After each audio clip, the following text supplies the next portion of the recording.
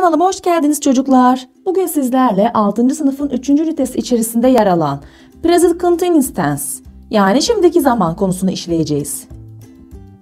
Evet öncelikle olumlu pozitif cümlelere bakalım. Öznelerimiz I, you, we, they standart özneler. He, she, it bunları zaten biliyoruz. Öznelerimizden sonra bu şimdiki zamanda diğer zamanlara göre bir yardımcı fiil kullanmam gerekiyor.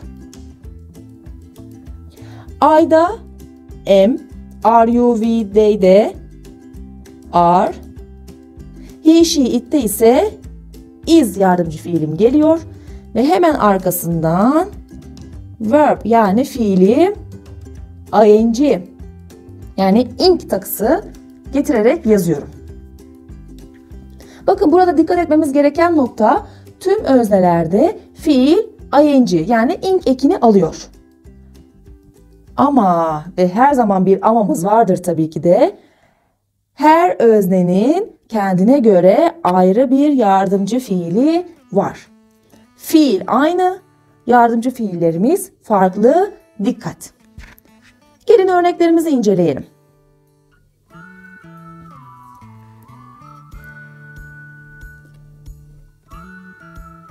I am running. Ben koşuyorum. Öznem I, yardımcı fiilim am, I am, running fiilime de ing getirdim.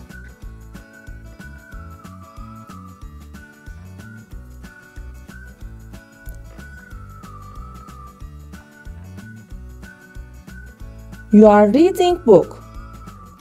Sen kitap okuyorsun. Öznem you. Yardımcı fiilim ise are. Yine fiilimde ing ekim var.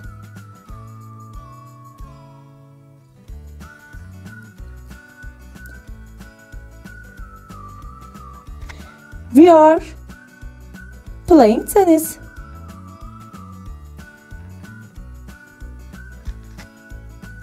Biz tenis oynuyoruz. Öznem we, yardımcı fiilim are. Fiilimde yine ing eki var. Peki olumsuz cümleleri nasıl kuracağım? Yine öznelerim aynı. I, you, we, they. He, she, it. Yine I'da em yardımcı fiilim. You, we, they de are. He, she, it de ise is. Peki ben olumsuz yapmak istiyorum. Olumsuz yaparken yardımcı fiilleri kullanıyorum. I'm not. You, we, they aren't.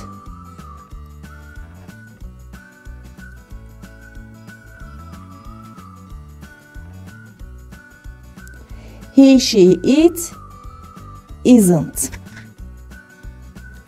Yani not olumsuzluk eki getiriyorum. I am peki kısa bir şekilde nasıl göreceğim? Karşıma I'm not şeklinde çıkabilir.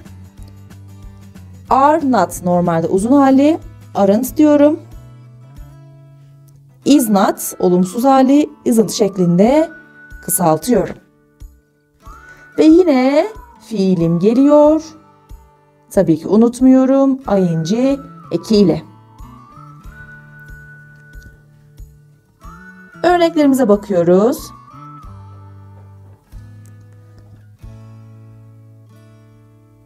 I'm not doing my homework. Ben ödevlerimi yapmıyorum. Zaten ödevlerini aşağıya atmış. Kendisi bilgisayar başında. I'm not doing my homework. Özlem ay olduğu için am not getirdim.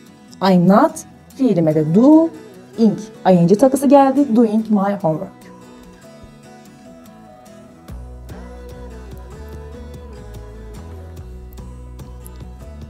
It isn't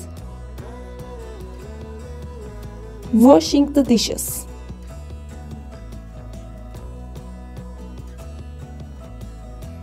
O bulaşıkları yıkamıyor. It isn't washing the dishes. Öznem it, isn't olumsuzluk yaptım. Fiilimde yine ing takısı söz konusu. Gelelim soru cümlelerine. Soru cümlelerinde ise bu yardımcı fiilleri kullanıyorum ve başa yazıyorum. Öznelerim yine öncelikle öznelerimi yazayım. I, you, we, they, he, she, it. You, we, they'de yardımcı fiilim neydi? Are. Başa geldi. He, she, it'teki yardımcı fiilim is'di. Başa geldi. Emine'ye bıraktım. Ay. Ben kendi kendime soru soramayacağım için ben bunu yapıyor muyum gibi çok saçma olacak. O yüzden sen yapıyor musun şeklinde olacağından dolayı I öznesi yerine you öznesini kullanırım. Onun da yardımcı fiili yine are. Are you şeklinde sorarım. Ve yine bunlardan sonra verb artı ing takısıyla karşımıza gelir.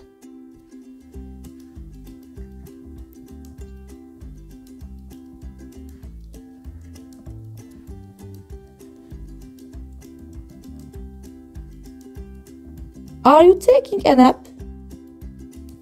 Sen şekerleme mi yapıyorsun? Are you taking a nap? Bakın burada sen diye sordum. Cevap verirken nasıl cevap vereceğim? Ben diye cevap vereceğim. Ve bu tarz sorulara ya evet ya hayırla cevap vermem gerekiyor. Yes, evet diyeceğim için yes. Hemen ardından düz bir cümle kullandığım için özlem geliyor. Yes, I. Peki I'da yardımcı fiilim neydi? Am. Yes, I am. Are you sorularına I am diye cevap veriyorum.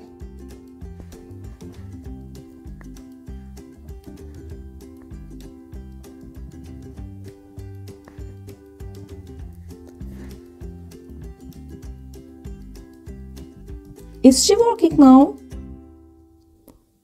O şu an çalışıyor mu? Is she working now? Yes. Evet çalışıyor. Yes, she is. Bakın is she diye sormuş bayan için. She'yi kullandık. Cevapta ise yes diyorum. Yine she ile sorulan sorulara she diye cevap veriyorum. Yardımcı fiilimde is olduğu için yes, she is şeklinde cevabımı verdim.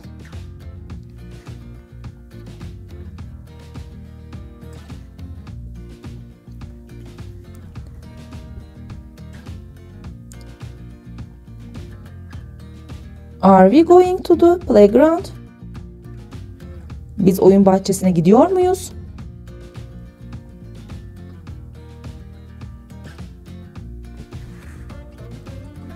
Cevabım bu sefer olumsuz. Çünkü eve gitmek istiyor. No. We aren't. Hayır gitmiyoruz. No we aren't. Bakın are we going to şeklinde sordum. Cevabımda no olsa bile yine özneyle başladım ama yardımcı fiilimi olumsuz yapmayı unutmadım. No cevaplarında yardımcı fiili olumsuz yapıyoruz. Yes cevaplarında ise olumlu şekilde yazıyoruz.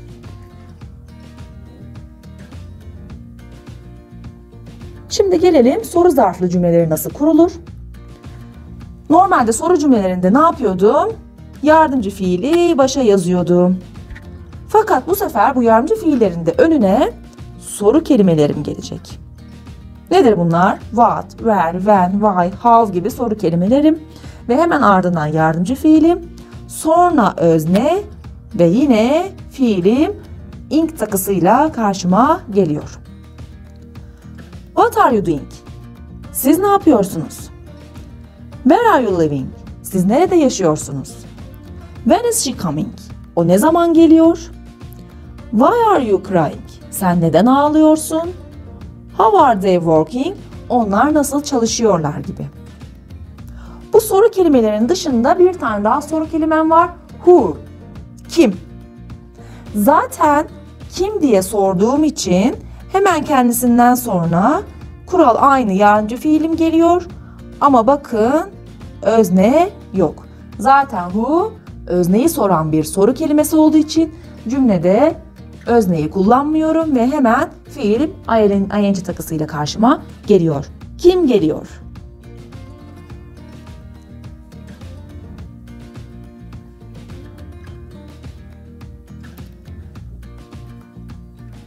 Evet bunlarla ilgili birkaç diyalog yapalım.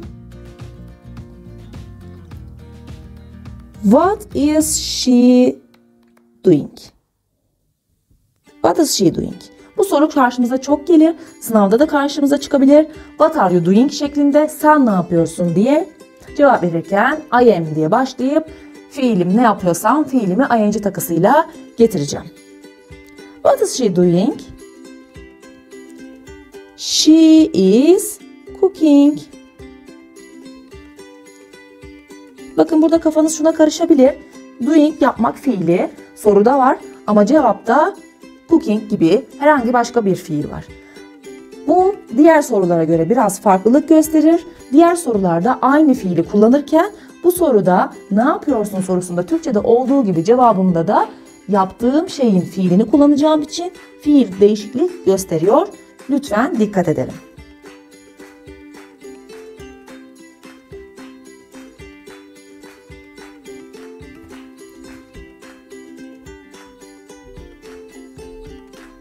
Are you living?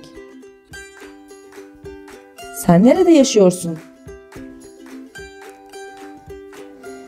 Are you diye sorduğum için sen diye cevap verirken I diye cevap vereceğim. I am living in İstanbul. İstanbul'da yaşıyorum. Bakın burada az önce dediğim gibi fiil living cevapta da living var. Çünkü nerede yaşıyorsun? Şurada yaşıyorum. Cevapta soruda aynı fiil olması gerekiyor.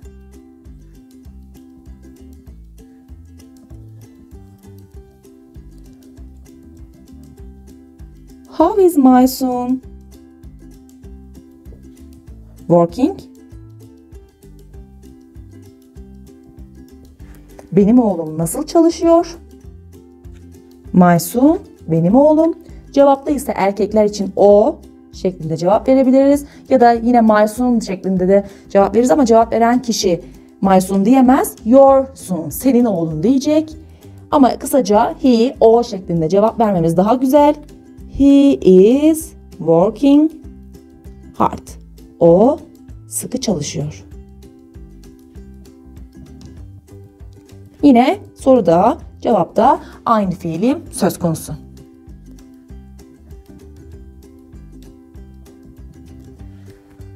Şimdi gelelim present continuous tense ile simple present tense yani geniş zamanla şimdiki zamanı kıyaslamaya bakalım.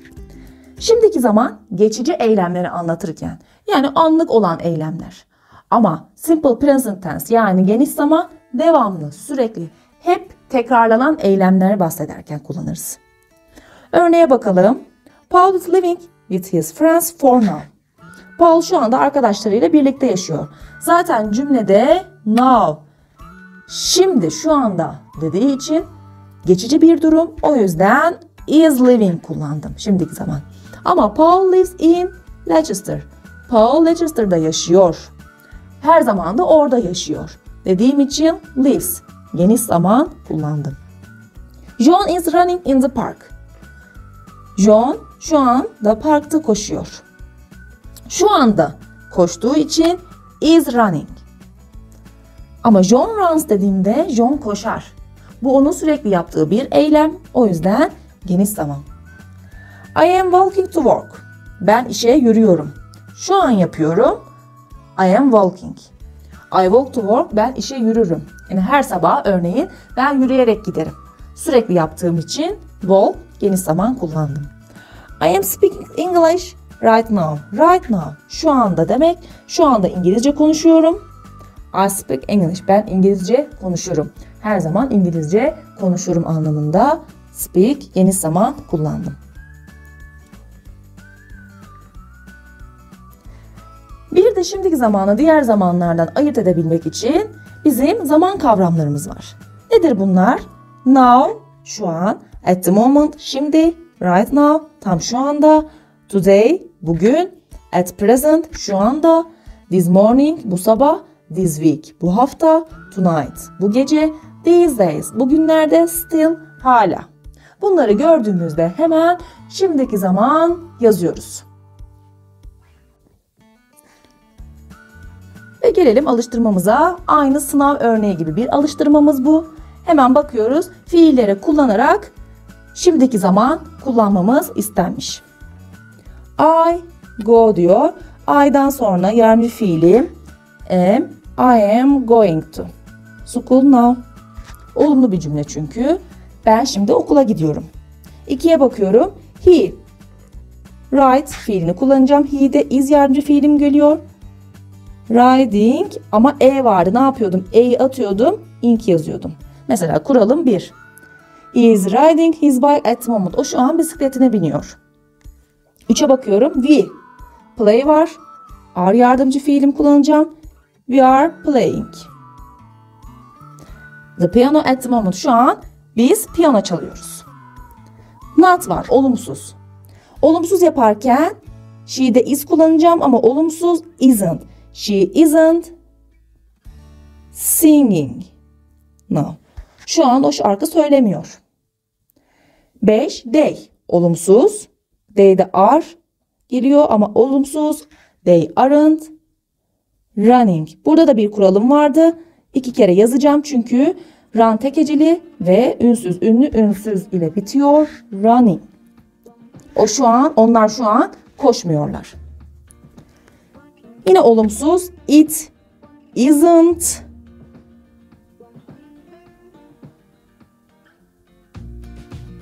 crying now. Onlar şu an o şu an ağlamıyor. Gelelim soru cümlelerinde. Sorunda soru işareti var. O zaman yardımcı fiilim başa gelecek. You'da yardımcı fiilim are'dı.